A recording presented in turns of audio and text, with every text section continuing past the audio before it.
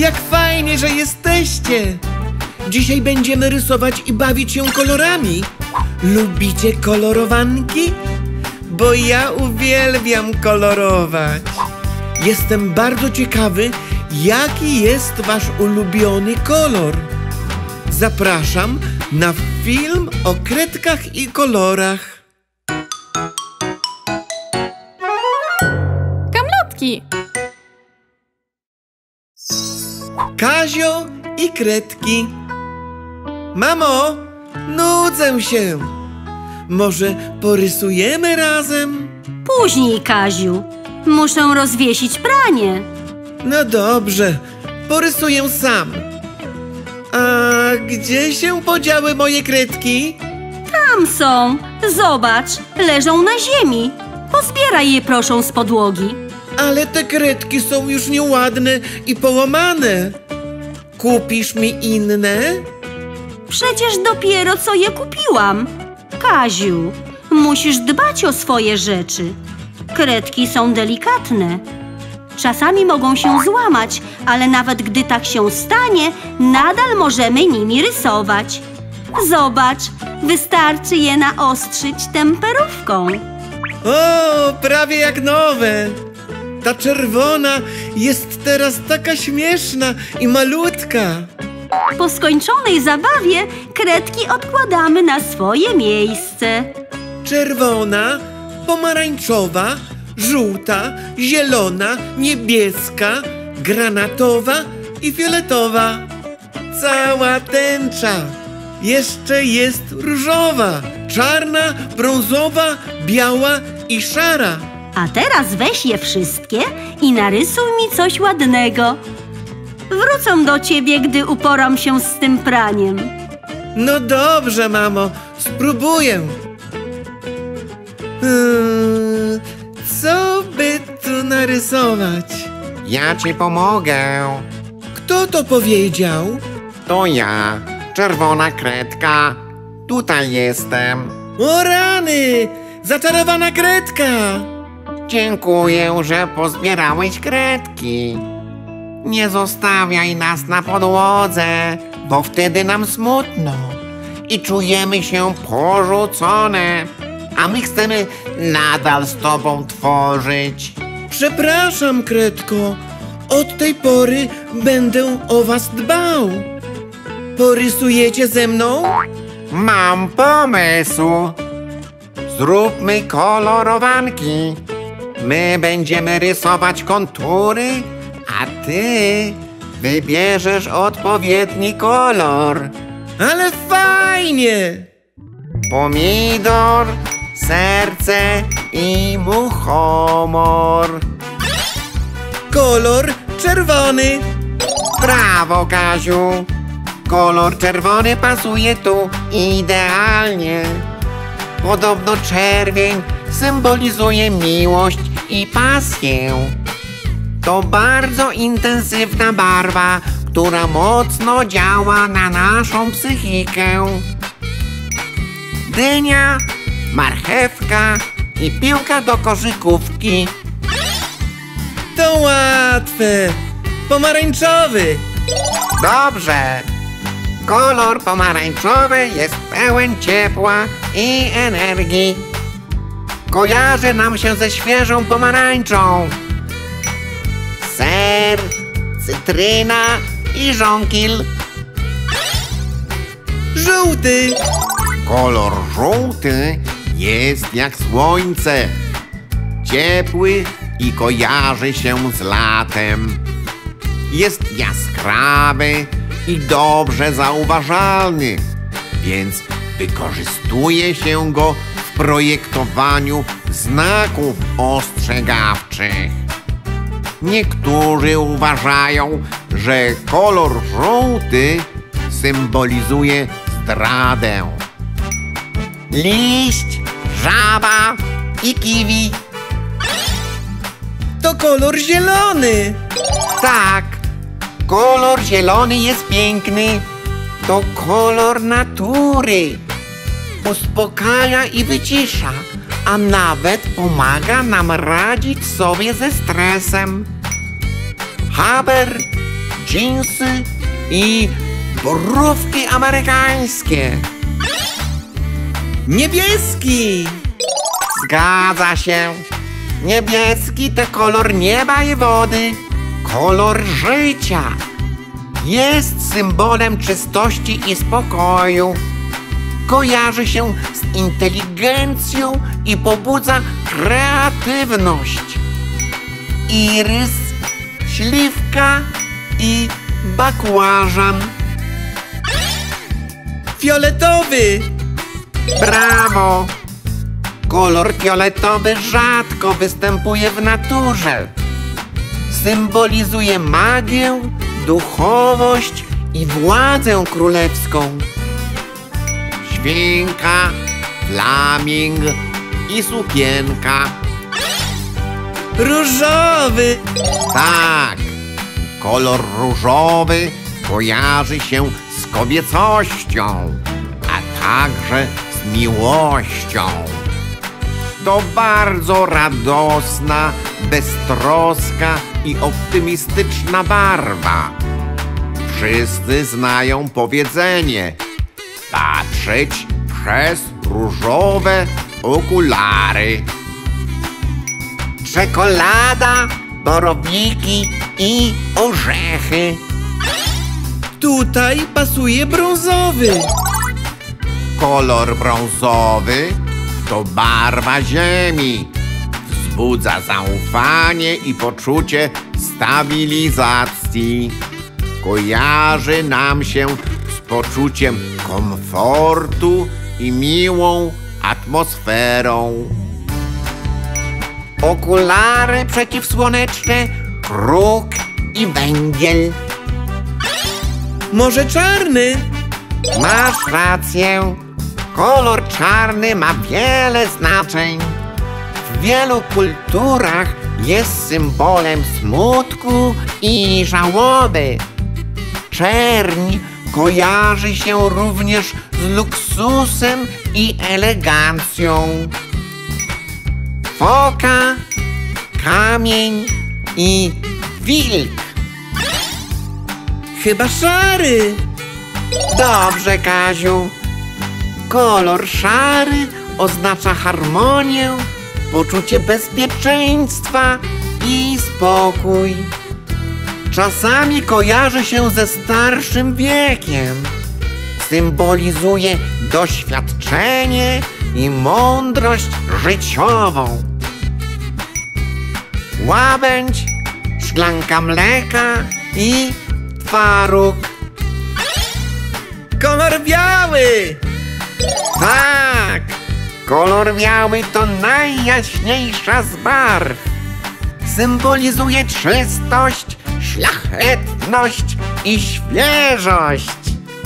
Kojarzy się z młodością i niewinnością. To już wszystkie kolory na dziś. A wiesz, że kredki nie służą tylko do kolorowanek? Z naszą pomocą możesz stworzyć piękne dzieła. Naprawdę? Ja też mogę tak ładnie rysować? Oczywiście, na kartce wszystko jest możliwe. Wystarczy, że użyjesz swojej wyobraźni. A jak mi nie wyjdzie? Nie martw się, Kaziu. I nigdy się nie poddawaj. Z czasem twoje rysunki będą coraz piękniejsze. Zdradzę ci też pewien sekret. Najwięksi artyści uczyli się rysunku poprzez obserwację natury, ale o tym opowiem ci kiedy indziej. Dziękuję, Kredko! Spróbuję narysować moje ulubione zabawki. I obiecuję, że już zawsze będę dbał o kredki. Do zobaczenia. Wspieraj nasz kanał i wciśnij czerwony przycisk subskrybuj.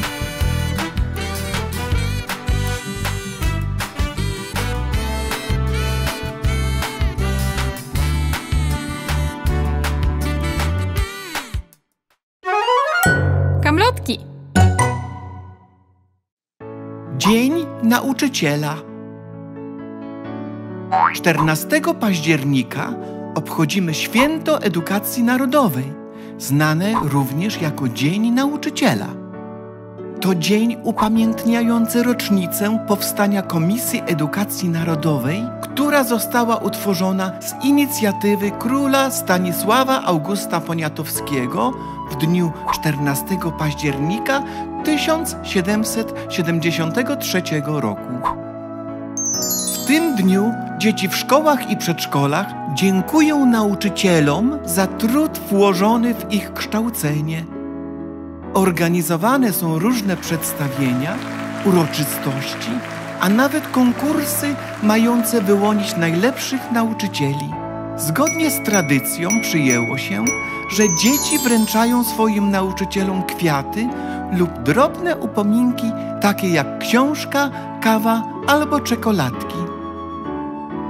Pamiętajcie jednak, aby nie przesadzić z prezentem. Chyba nie chcielibyście, aby nauczyciel pomyślał sobie, że chcecie go przekupić, by zapewnić sobie lepsze oceny. Skromny drobiazg, a nawet ładna kartka z życzeniami w zupełności wystarczą. W niektórych szkołach klasy składają się na wspólny prezent, aby uniknąć takich sytuacji. Co sądzicie o takim rozwiązaniu? Kochani nauczyciele, wszystkiego najlepszego z okazji Waszego święta. Kamlotki.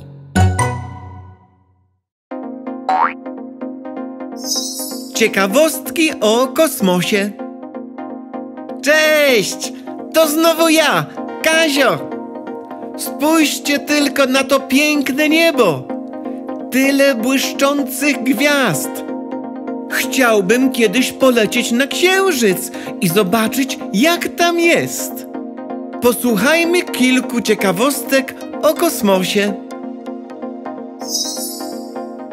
1.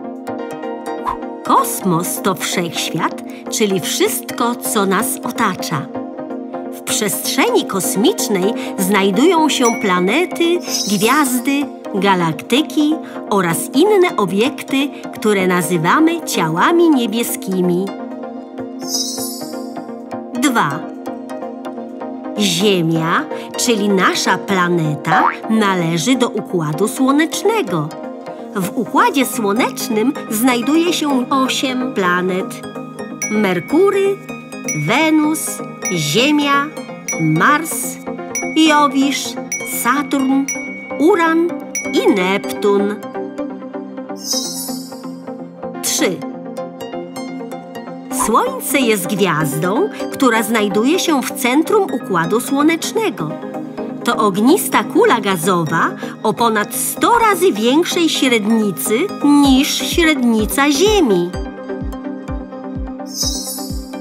4. Kosmonauta, czyli inaczej astronauta, to osoba, która odbywa loty kosmiczne lub jest do nich przygotowana. Pierwszym polskim kosmonautą jest Mirosław Hermaszewski. 5. Meteoryt to kosmiczny odłamek, który oderwał się od innego ciała niebieskiego i dotarł na powierzchnię Ziemi. Każdego dnia na Ziemię spada od 100 do 1000 ton meteorytów. Większość w postaci drobnych okruszków. 6. Droga Mleczna to galaktyka, w której znajduje się nasz układ słoneczny. Galaktyka to wielkie skupisko gwiazd, planet, pyłów oraz innych ciał niebieskich. Jej kształt jest utrzymywany przez ogromną siłę grawitacji. 7. Pluton był przez kilkadziesiąt lat na liście planet należących do Układu Słonecznego.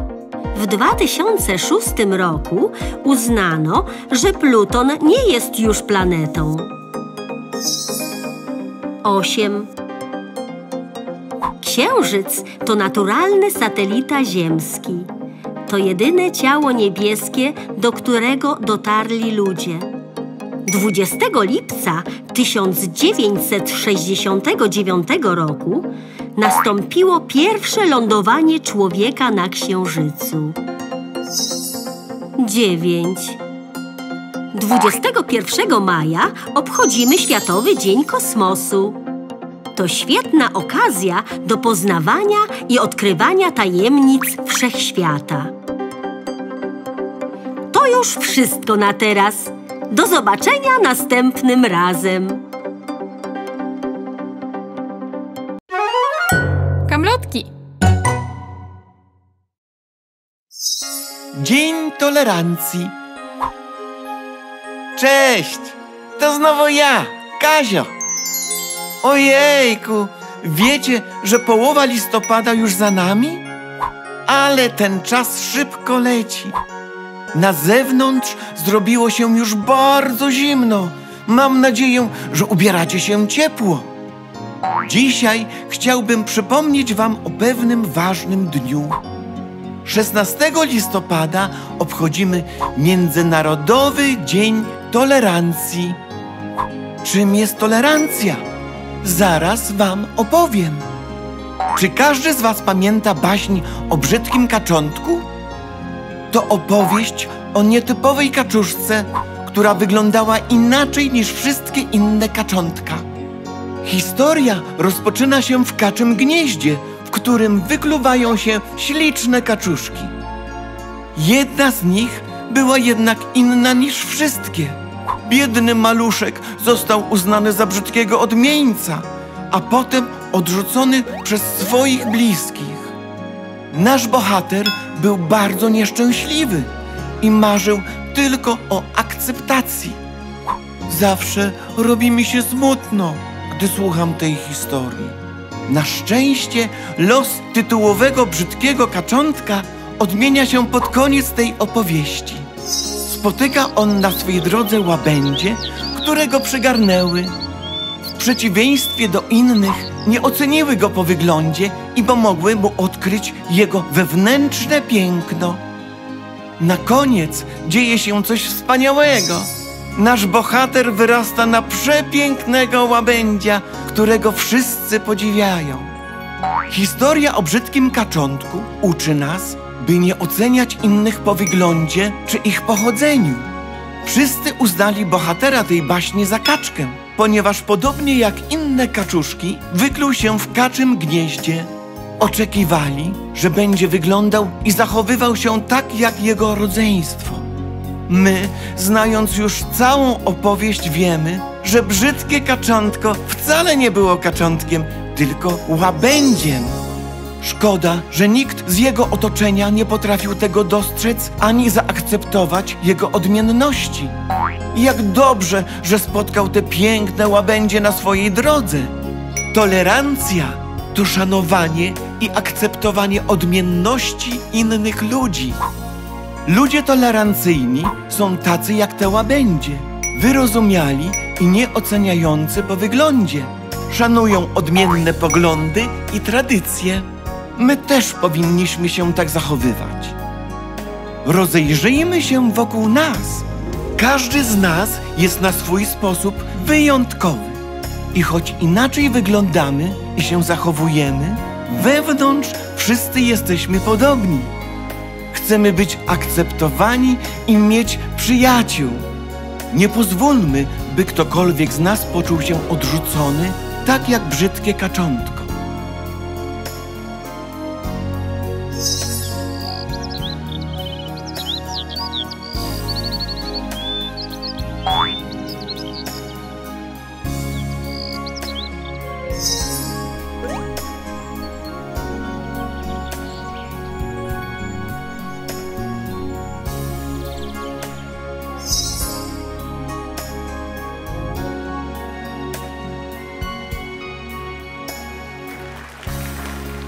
Dziękuję, że obejrzeliście mój film do końca. Do zobaczenia w kolejnym odcinku. Pa pa! Kamlotki. Cześć! To znowu ja, Kazio. Dzisiaj opowiem wam o moich ulubionych dinozaurach. Przeniesiemy się w czasie i spróbujemy sobie wyobrazić, jak żyły najpopularniejsze dinozaury. Kamlotki!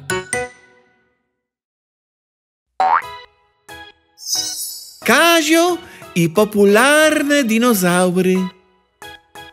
Dziadku, dziadku, zobacz! Co tam masz, Kaziu?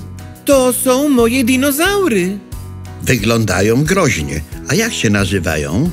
To jest stegozaur, ten z rogami to triceratops, a to mój ulubiony tyranozaur rex.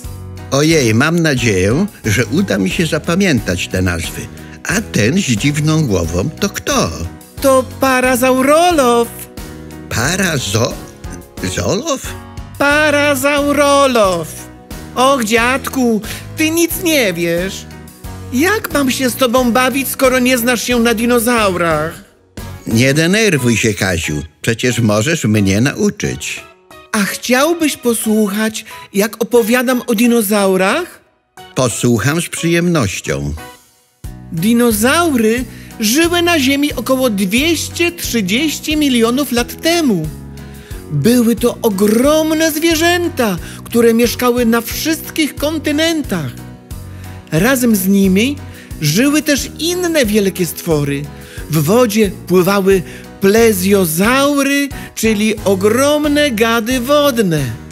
A w powietrzu unosiły się pterozaury, wielkie gady latające. Wszystkie dinozaury wykluwały się z jajek. Były słodkie i malutkie, a potem rosły, rosły i rosły, aż stawały się wielkie i potężne. To jest dorosły tyranozaur rex. To najstraszniejszy dinozaur, jakiego znam. Mięsożerca. Miał ogromne, 20-centymetrowe zęby, a jego szczęka była silniejsza od paszczy lwa. Miał doskonały węch i polował na triceratopsy. Triceratops to ten z trzema rogami? Tak, dziadku, tego też bardzo lubię. Triceratopsy miały takie śmieszne papuzie dzioby, a te rogi służyły mu do odpierania ataków drapieżników. A jak się nazywa ta wystająca część głowy, przypominająca tarczę? To jest gryza. Niestety nie wiadomo do czego służyła. Może była po to, by chronić szyję? Ciekawe. A opowiesz mi coś o tym dinozaurze z płytami na grzbiecie? Masz na myśli stegozaura? Stegozaur był duży i powolny. Miał małą głowę i mózg wielkości śliwki, ale za to wyglądał bardzo fajnie i też potrafił się bronić. Miał kolczasty ogon. Gdyby nim kogoś trafił, to mogłoby zaboleć. Na równinach późnojurajskiej Ameryki Północnej stąpał brachiozaur, olbrzym o długiej szyi. Skubał liście z koron drzew tak jak żerafa. Jego przednie nogi były nieco dłuższe od tylnych. Jestem bardzo ciekawy, po co temu dinozaurowi taka dziwna rurka na głowie? To parazaurolow, dziadku. Nie pamiętasz? Podobno dzięki niej mógł wydawać głośne dźwięki. Znam jeszcze jednego fajnego dinozaura. To ankylozaur. Jest cały pokryty kolczastym pancerzem. Kochani, a może skubniecie trochę obiadku? Jedzenie czeka na stole. Obiad! Hurra! Ra! Tyranozaur jest głodny! Niam, niam, niam! A może zjadłbyś trochę warzyw? No co ty, mamo? Tyranozaur nie je warzyw. To mięsożerca. A ja jem tylko to, co dinozaury. Kaziu, a wiesz, że nie wszystkie dinozaury jadły mięso? Większość z nich była roślinożercami. Myślę, że stegozaur chętnie zjadłby tę sałatkę. O, a ja myślałem, że wszystkie jedzą mięsko. W końcu są takie wielkie i straszne. Zjedz warzywa, a potem porozmawiam z tobą o dinozaurach. Okej. Spróbuj zgadnąć, jak nazywają się te dinozaury. Triceratops, stegozaur, ankylozaur, parazaurolow, brontozaur i brachiozaur. Brawo! Wszystkie dinozaury, które wymieniłeś, są roślinożercami. Teraz czas poznać popularne dinozaury mięsożerne.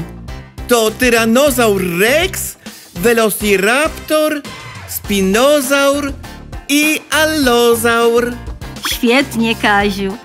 To co? Jesteś gotowy na ciekawostki o dinozaurach? Tak, Jeden. Skamieniałości, czyli inaczej skamieliny, są cennym źródłem wiedzy o dinozaurach. Są to zachowane w skałach szczątki organizmów lub ślady ich aktywności życiowej. a jak powstawały skamieliny? Czasem ciało dinozaura osuwało się na dno zbiornika wodnego. Z biegiem lat osady piasku i skał pokrywały szkielet dinozaura, całkowicie go unieruchamiając. Po długim czasie kości zmieniały się w skamieliny. Naukowcy, którzy je badają, nazywają się paleontologami. 2. Dinozaury były jajorodne, czyli wykluwały się z jaj. Wiemy to dzięki odnalezieniu skamieniałych jaj. Młody dinozaur był malutki i delikatny, znacznie mniejszy niż młode ssaki dużych gatunków, na przykład słoni. Podobno ważąca 4 tony samica dinozaura była 2500 razy większa od swojego dziecka. Ojej, jaki maluszek! Niektórzy naukowcy sądzą, że jajorodność była dużą słabością dinozaurów i że przyczyniła się do ich wyginięcia. 3. Zauropody to ogromne dinozaury o długich szyjach. Do zauropodów należy między innymi Brachiozaur, diplodok, amargazaur, argentynozaur, brontozaur i apatozaur. Wiele z nich wygląda bardzo podobnie. Masz rację. Nawet naukowcy mieli problemy, by rozróżnić szkielety zauropodów. Przez pewien czas sądzono, że brontozaur i apatozaur to ten sam dinozaur, a nazwy stosowano zamiennie. Dzisiaj uznaje się, że są to dwa różne rodzaje. 4. W wielu popularnych filmach, książkach i grach komputerowych Velociraptor jest przedstawiany jako groźny, nieopierzony jaszczur. Według badań był on znacznie mniejszy niż jego popularne wyobrażenie. Prawdopodobnie był opierzony i przypominał bardziej ptaka niż gada. 5. Tyranozaur rex to najpopularniejszy dinozaur na świecie. W naszej piosence występuje mały tyranozaur, który jest sympatyczny i nieszkodliwy. Jednak wszyscy dobrze wiemy, że prawdziwy tyranozaur był wielkim drapieżnikiem. Wyglądał groźnie i był postrachem wszystkich dinozaurów. Miał małe przednie łapy i tylko dwa palce więc nie byłby w stanie chwycić niczego łapami. Podobno allozaur miał trzy palce. Z kolei aukazaur mógł mieć nawet cztery bardzo małe palce, lecz prawdopodobnie bez pazurów. 6. Parazaurolow miał przedziwny grzebień na głowie. Miał on kształt tuby, która wydłużała się przez całe życie tego dinozaura. Naukowcy uważają, że grzebień wzmacniał ryk parazaurolofa, dzięki czemu było go słychać w całej okolicy. Tak, Kaziu. Grzebień parazaurolofa był jak pudło rezonansowe w instrumentach muzycznych. Parazaurolof zawdzięczał mu donośny i charakterystyczny dźwięk.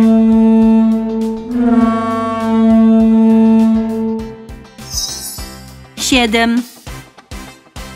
Triceratops to groźnie wyglądający roślinożerca. Był cięższy niż samochód i uzbrojony w trzy rogi, którymi bronił się przed drapieżnikami. Do tej samej rodziny należał styrakozaur i albertaceratops. Wszystkie równie silne i olbrzymie. Przypuszcza się, że potrafiły szarżować rogami podobnie jak dzisiejsze nosorożce. 8. W czasach dinozaurów po niebie szybowały wielkie latające gady. To pterozaury.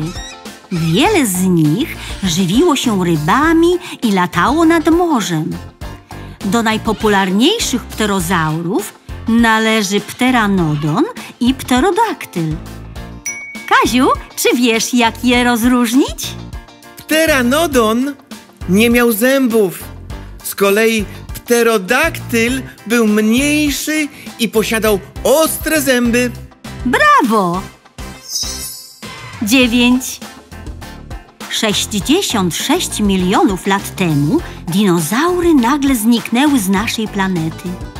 Masowo wymierały też rośliny i inne gatunki zwierząt żyjących na Ziemi. To zjawisko nazywamy wymieraniem kredowym.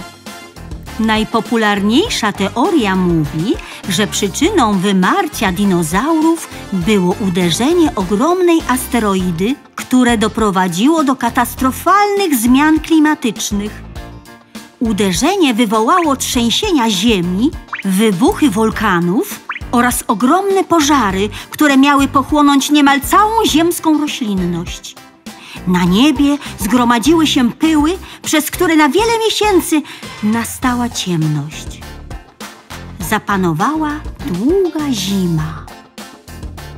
Ale to ciekawe, mamo. Myślę, że na dzisiaj wystarczy już tych dinozaurów. Kaziu, Kaziu, posłuchaj.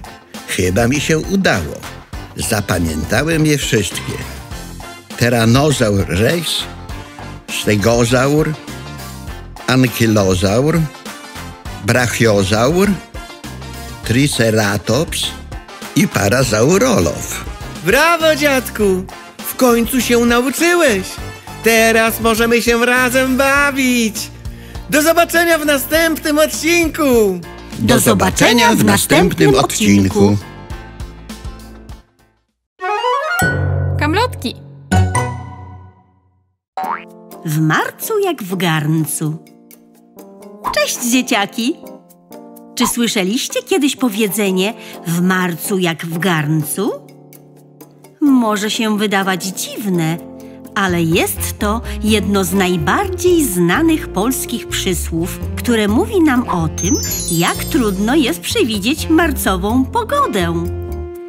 Marzec to pierwszy wiosenny miesiąc, ale nie zawsze jest łaskawy dla naszych oczekiwań. Czasami jest ciepło i słonecznie, a czasami pada deszcz, śnieg lub wieje silny wiatr. A to wszystko z powodu różnych zmian atmosferycznych, które wpływają na naszą planetę. Właśnie dlatego marzec jest tak nieprzewidywalny. Ale co ma wspólnego garnek z pogodą? Otóż garnek to narzędzie kuchenne, które służy do mieszania składników i gotowania potraw. Podobnie jak w garncu, w marcu łączą się różne elementy. Miesza się ciepło, zimno, wiatr, deszcz i słońce, co sprawia, że pogoda jest bardzo zmienna i trudna do przewidzenia. Stąd powiedzenie w marcu jak w garncu. W marcu musimy być elastyczni i gotowi na zmiany. Każda pogoda ma swoje plusy i minusy. Tak więc, niezależnie od tego, co przyniesie nam marzec, musimy mieć pozytywne podejście i cieszyć się każdą chwilą. Bądźmy przygotowani na różne warunki pogodowe i dbajmy o zdrowie. Kamlotki. Sto lat, sto lat, niech żyje, żyje nam. Sto lat, sto lat, niech żyje, żyje nam. Jeszcze raz, jeszcze raz, niech żyje, żyje nam. Niech żyje nam. Kazio!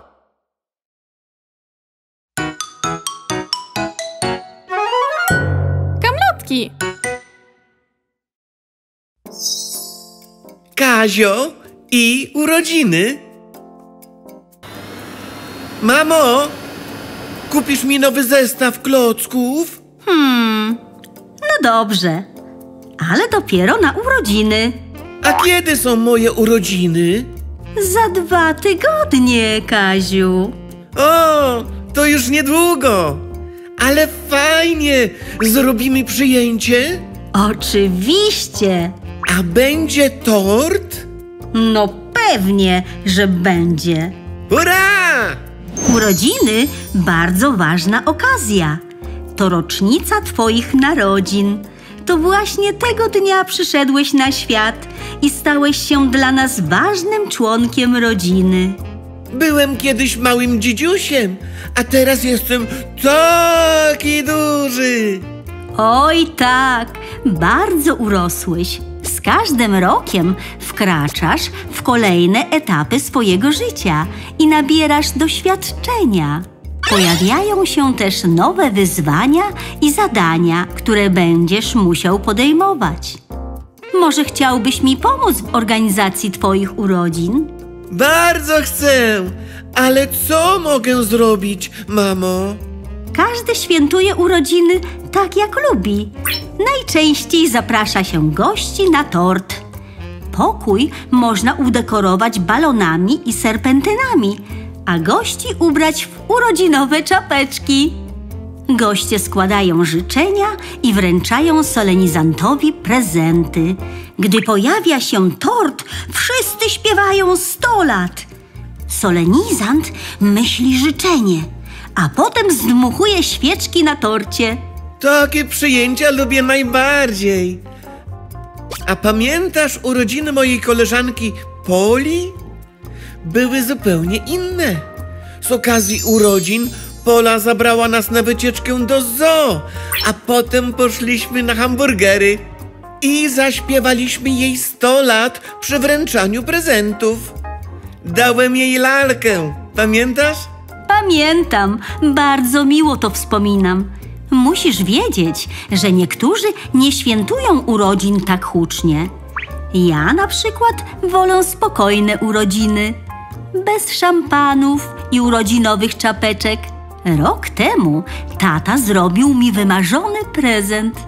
Dał mi bukiet pięknych kwiatów, a potem cały dzień zajmował się domem, a ja mogłam sobie odpoczywać. Nie rozumiem, jak można nie lubić wielkich przyjęć urodzinowych. Każdy z nas woli coś innego. Niektórzy lubią dużo ludzi i głośną zabawę. Inni wolą spędzić czas w gronie najbliższych lub sami. Ważne, żeby świętowanie było zgodne z oczekiwaniami i charakterem solenizanta. Możemy zrobić przyjęcie urodzinowe, na którym będą tort, prezenty i zabawy. Ale to nie jedyne sposoby na świętowanie. Możemy też wybrać się na wycieczkę do kina, parku rozrywki, nad jezioro czy zjeść pyszne jedzenie w restauracji. Najważniejsze, żeby nasze urodziny były pełne radości i pozytywnych emocji.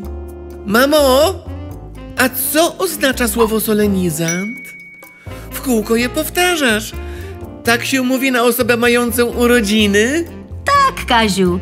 Osobę, która obchodzi urodziny, nazywamy solenizantem. Solenizant to także osoba świętująca imieniny. Słowo solenizant pochodzi od łacińskiego słowa solenis, które oznacza coś uroczystego i dorocznego. Hmm, to dziwne. Pola mówiła, że osoba obchodząca urodziny to jubilat. Rzeczywiście, w mowie potocznej często stosuje się to określenie. Niektórzy ludzie mają trudności z odróżnieniem określeń jubilat i solenizant i nie wiedzą, które z nich jest właściwe.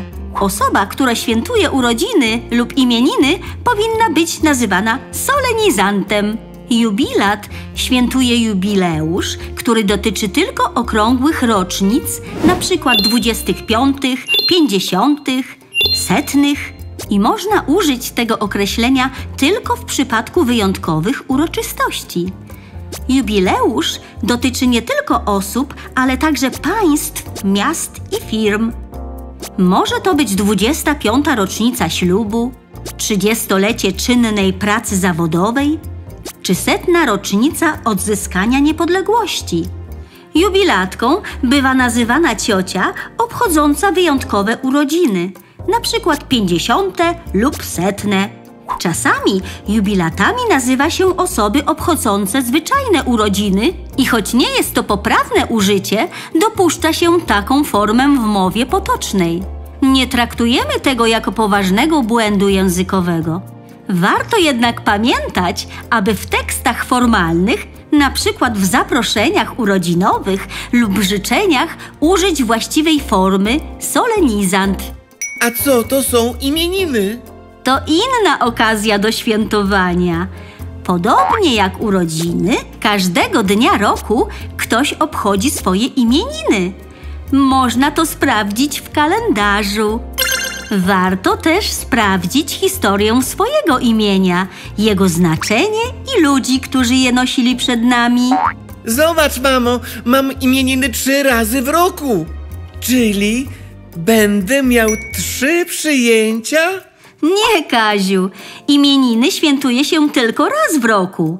Najczęściej wybiera się te imieniny, które następują jako pierwsze w kolejności po urodzinach. Już rozumiem. Dzięki, mamo. Urodziny i imieniny to wydarzenia, które przypominają nam o dorastaniu. To okazje do refleksji nad minionym rokiem i zastanowienia się nad tym, jak wiele się w nim zmieniło, czego się nauczyliśmy i co jeszcze chcielibyśmy osiągnąć. To też czas, w którym możemy się cieszyć z naszych osiągnięć w danym roku. Skoro chcesz mieć duże przyjęcie, spróbujemy takie zorganizować. Hurra! Mogę zaprosić kolegów i koleżanki? Oczywiście, Kaziu.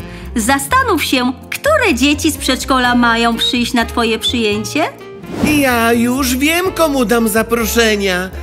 Zaproszę Polę, Milenkę, Stefanka, Anię, Zuzię, Frania i Juzia.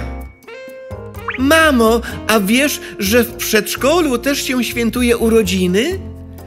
Na ścianie mamy taki kalendarz, na którym są oznaczone daty urodzin wszystkich dzieci. Gdy ktoś ma urodziny, składamy mu życzenia i świętujemy. Niektórzy solenizanci przynoszą cukierki i częstują wszystkie dzieci w przedszkolu. A ja bym chciał przynieść owoce i zrobić z wszystkimi owocowe szaszłyki. Mogę? Oczywiście, Kaziu, to wspaniały pomysł. Porozmawiam o tym z panią Basią. Ładne zaproszenia zrobiłem? Są piękne. Pomogę ci je wypisać. Jutro zaniesiesz je do przedszkola i rozdasz dzieciom. Już nie mogę się doczekać. Wszystkiego najlepszego, Kaziu!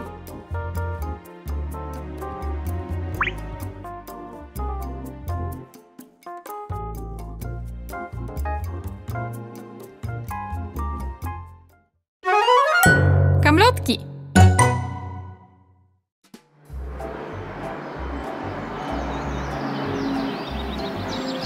Mamo, zobacz! Leci samolot! Psiu! Kaziu, stój! Samochód jedzie. Ups! To było bardzo nierozsądne. Ale mnie wystraszyłeś. Przez twoje zachowanie mogło dojść do wypadku.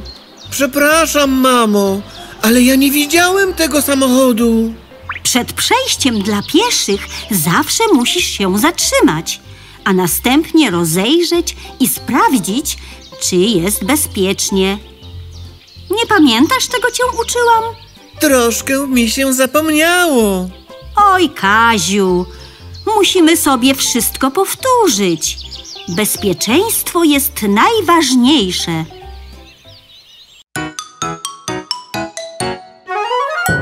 Kamlotki! Kazio i bezpieczeństwo na drodze. Ruch drogowy to dynamiczny proces, w którym bierze udział wielu uczestników. Mamy samochody, autobusy, motocykle, rowery, hulajnogi i pieszych. Poruszając się po drodze, my również stajemy się częścią tego procesu. Każdy uczestnik ruchu drogowego musi wykazać się uważnością i postępować rozsądnie. Dla zapewnienia bezpieczeństwa niezbędne jest przestrzeganie przepisów ruchu drogowego. To takie zasady, które mówią nam, jak bezpiecznie poruszać się na drogach. Na przykład, kiedy idziemy pieszo, powinniśmy korzystać z chodnika i przechodzić na zielonym świetle. A kierowcy muszą pamiętać o ograniczeniach prędkości i używać kierunkowskazów. Dokładnie. Każde dziecko powinno wiedzieć, jak bezpiecznie poruszać się na drodze. Kaziu, czy wiesz, co robimy, gdy chcemy przejść na drugą stronę ulicy? Hmm, szukamy przejścia dla pieszych. Zgadza się. A czy potrafisz je rozpoznać? Jasne, że tak. Przejście dla pieszych wygląda jak zebra. Jest pomalowane w białe pasy. Obok powinien być umieszczony znak drogowy, który wygląda tak. Bardzo dobrze, Kaziu. Gdy chcemy przejść bezpiecznie na drugą stronę ulicy, musimy znaleźć przejście dla pieszych. Najlepiej takie z sygnalizacją świetlną. Są tam światła drogowe, które pokazują nam, kiedy możemy iść. Nas interesują światła dla pieszych. To te z ludzikiem. Gdy światło jest czerwone, ludzik stoi. A gdy zmieni się na zielone, ludzik idzie. Jeśli zobaczymy czerwone światło, trzeba cierpliwie czekać, aż zaświeci się zielone. Gdy zobaczymy zielony kolor, rozglądamy się. Najpierw patrzymy w lewo, potem w prawo i jeszcze raz w lewo. Sprawdzamy, czy nie nadjeżdża samochód. Jeśli jest bezpiecznie, możemy iść. Idziemy spokojnie, cały czas zachowując czujność. Nie wbiegamy na pasy. A co, jeśli nie ma świateł? Jeśli znajdziemy się przed przejściem bez sygnalizacji świetlnej, musimy bardzo uważać. Młodsze dzieci, takie jak ty, powinny zawsze korzystać z pomocy kogoś dorosłego. Zanim wejdziemy na jezdnię, musimy się oczywiście rozejrzeć w lewo, w prawo, w lewo. Jeśli zobaczymy nadjeżdżający samochód, czekamy. Musimy mieć pewność, że kierowca nas zauważy. Samochód powinien się zatrzymać i nas przepuścić, ponieważ mamy pierwszeństwo na przejściu dla pieszych. Masz rację, ale mimo wszystko zawsze należy zachować czujność. Może się zdarzyć, że kierowca nie zauważy nas i nie zatrzyma pojazdu. Nigdy nie wchodzimy na jezdnię przed upewnieniem się, że jest bezpiecznie. Dzieci powinny korzystać z wyznaczonych przejść dla pieszych. Jak myślisz? Na co jeszcze należy uważać? Pani Basia mówiła, że nie wolno patrzeć w telefon, gdy przechodzimy przez ulicę. Bieganie również jest zakazane, nawet wtedy, gdy spieszymy się na autobus. Przebieganie przez jezdnię jest bardzo niebezpieczne, szczególnie gdy światła się zmieniają. Tak, to bardzo ważne uwagi, Kaziu. Wiele dzieci nie zdaje sobie sprawy z zagrożeń na drodze. Powtórzmy sobie najważniejsze zasady bezpieczeństwa na drodze. Korzystaj z drogi dla pieszych. Gdy widzisz dostępny chodnik, zawsze chodź po nim. To jest dla nas najbezpieczniejsze miejsce. Nie zbliżamy się do krawędzi chodnika. Trzymaj się jak najdalej od jezdni. Jeśli nie ma drogi dla pieszych, możesz iść poboczem z lewej strony jezdni. Musisz być wtedy bardzo ostrożny. Nie chodź po drodze dla rowerów. Możesz zostać potrącony. Czasami chodnik jest podzielony na dwie części: na drogę dla pieszych i drogę dla rowerów. Zobaczysz wtedy taki znak. Chodzimy tylko po swojej części. Przechodź tylko na przejściu dla pieszych. Szukaj pasów zebry. Przejście dla pieszych to miejsce, gdzie możemy bezpiecznie przekroczyć ulicę. Czerwone mówi stój. Obserwuj światła drogowe. Czerwone światło oznacza, że musimy czekać. Gdy pojawi się zielone, możemy iść, ale dopiero po rozejrzeniu się. Nie wchodzimy na pasy, gdy światła się zmieniają. Patrz w lewo i w prawo. Zanim wejdziesz na drogę, upewnij się, że nie nadjeżdża samochód. Spójrz najpierw w lewo, potem w prawo, a potem jeszcze raz w lewo. Tylko wtedy, gdy nic nie jedzie, możesz bezpiecznie przejść przez jezdnię. Bieganie po jezdni jest bardzo niebezpieczne. Lepiej raz spóźnić się na autobus, niż biegać i ryzykować życiem. Nie warto się spieszyć. Pomyśl, zanim zaczniesz działać. Nie baw się w pobliżu drogi. Możesz spowodować wypadek. Jeśli piłka wpadnie na jezdnię, nie rób niczego sam. Poproś dorosłego o pomoc w odzyskaniu piłki. Bądź widoczny. Gdy jest ciemno, pamiętaj o byciu widocznym dla kierowców. Noszenie odblasków i jasnych ubrań sprawia, że jesteśmy zauważalni. Jeśli chcesz przejść przez torowisko, możesz to zrobić tylko w miejscu do tego przeznaczonym. Zachowaj szczególną ostrożność i dokładnie się rozejrzyj. Jeśli szlaban jest zamknięty, czekaj cierpliwie. Nie przechodź pod nim, ani nie wbiegaj pod zamykający się szlaban. Jeśli masz mniej niż 7 lat, nie możesz przebywać bez opieki na drodze publicznej. Zgodnie z przepisami powinna być z Tobą osoba, która ukończyła przynajmniej 10 lat. A najlepiej, jeśli będzie to ktoś dorosły. Ta zasada nie dotyczy strefy zamieszkania. W strefie zamieszkania pieszy ma pierwszeństwo i może poruszać się po całej szerokości drogi, a nie tylko po chodnikach. Nie znaczy to jednak, że możesz być nieostrożny. Nawet jeśli chodzisz po osiedlowej uliczce, musisz być czujny.